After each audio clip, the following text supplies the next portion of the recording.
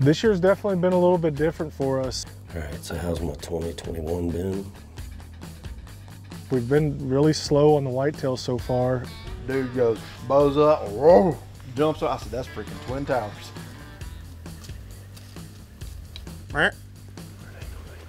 I've got my buck killed, but it's just been a really slow year. What did we say went well today? Nothing.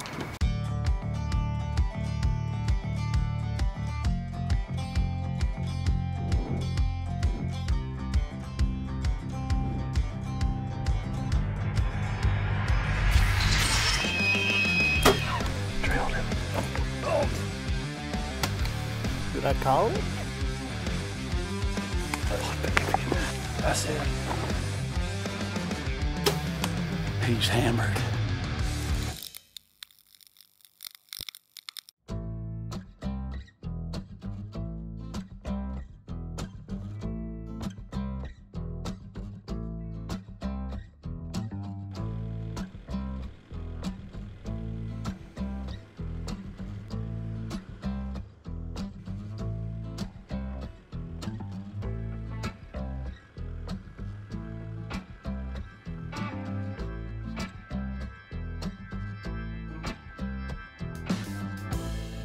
This year's definitely been a little bit different for us, uh, not just myself, but us as a group. We've been really slow on the whitetail so far. Tombo's been all over the place, hadn't been real successful yet.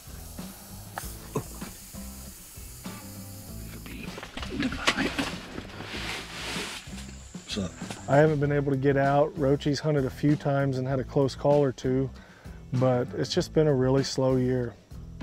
All right, so how's my 2021 been? So far, it's been a big sandwich. It's been a good year. I don't care what anyone says. I had a daughter.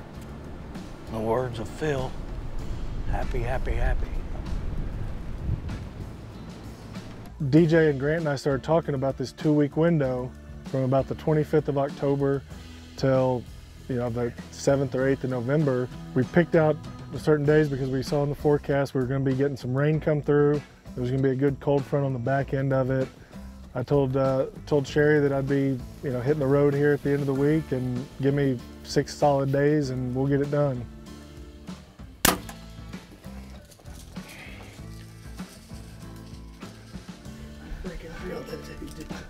Trailed him. Well, I'm not the only one that's going to be hunting this week. Grant's on his way up.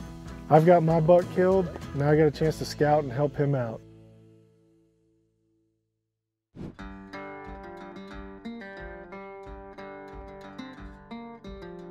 It feels like the first time I've legitimately sat in like a premium, premium spot at a premium time of year a premium ranch. The chance to shoot premium, premium deer. Langy got up here two days before I did, killed a deer. Great buck, super buck. Old, big, just man, the thing was like 280 pounds. What a behemoth. And so now, I'm out here trying to do the same thing. DJ's been running all these cameras. There's new bugs showing up everywhere. Got a buck named Twin Towers. We're gonna shoot him if we see him. I'd really rather Rochi see him. But if he comes and stands right here, he's gonna get shot or any other quasi-mature deer that wanders in front of us.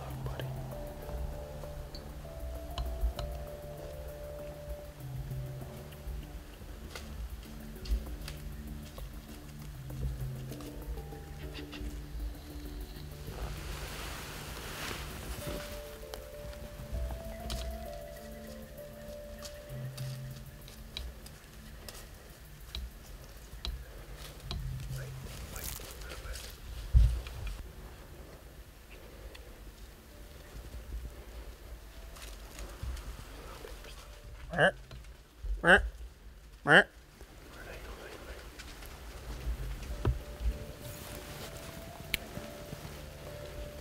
gotta freaking be kidding me.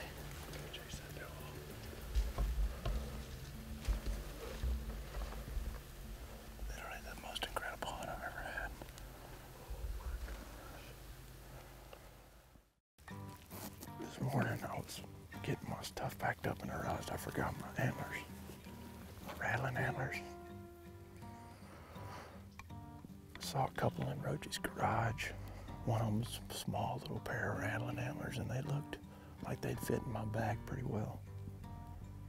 Didn't realize those were probably Jordans, and so I found the old nice, custom made E3 leather grip rattling antlers. Hope Roach doesn't mind that I borrowed them. We're gonna we're gonna burn them down a little bit over here. See what kind of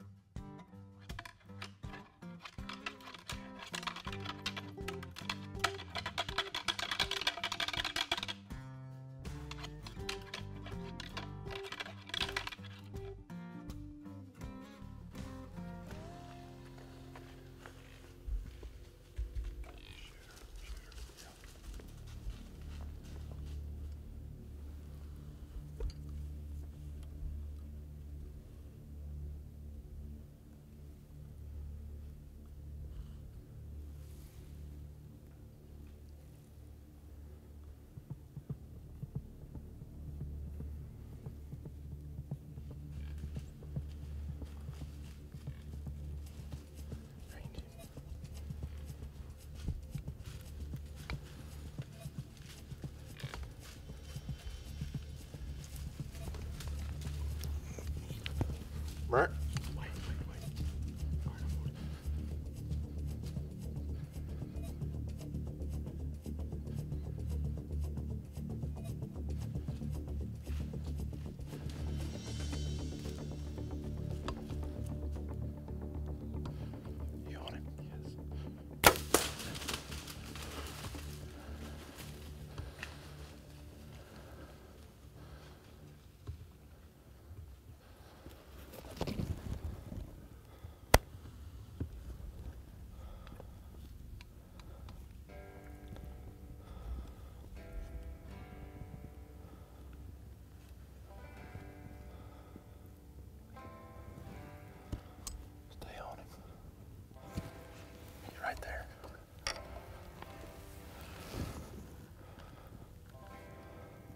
Stay down, you dog. Stay down, you dog. Stay down, you dog.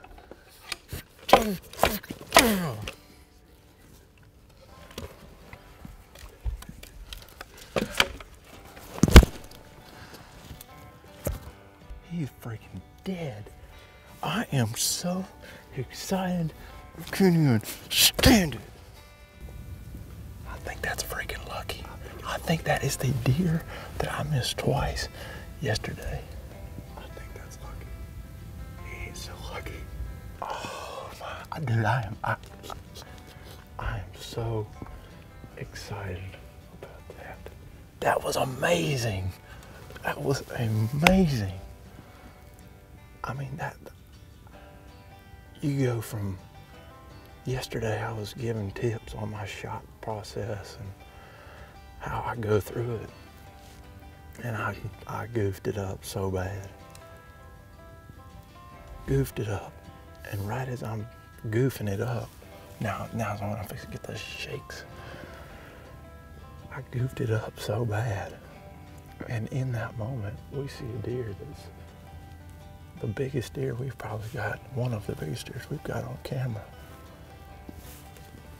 10, 12 steps. I was full draw. Couldn't get a shot. Didn't want to take a marginal shot. Probably the most um, exhilarating 20 or 30 minutes of deer hunting I've ever had was yesterday evening. This morning we got out here. I, I love this spot and the timber just off here. This is one of my favorite spots, I keep going back to it. We we got in here,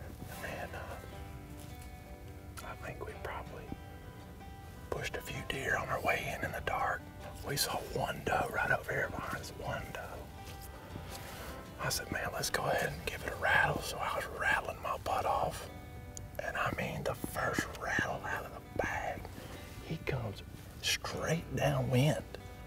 He come right into our wind.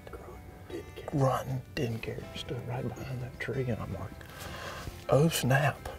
I had the rattling antlers. I shot him with antlers between my legs. Yes. Because I was right here and I just set my, I put them between my legs and I didn't have any place to go with them. And he came right up here and I was like, oh boy. I could not be more excited. I feel an excitement that is just this side of the birth of my children. And we saw him go down hard over there. He's laying over there. It's probably been been 30 minutes now. So we're gonna go put our hands on him.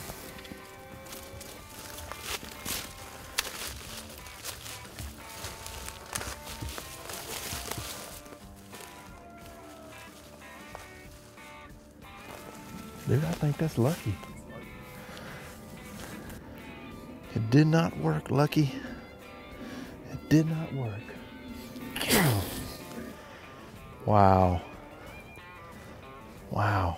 This is the deer that I missed twice yesterday. I missed this deer twice. Once at 30 something yards, once at about 45 yards. I don't really think he knew fully what was going on. And then this morning, we rattled his big butt in. He came straight downwind of us, grunting. I mean, yesterday when we saw him, he was grunting and snort wheezing. And you know what? His card just got pulled today. He's a big deer. He's a big deer.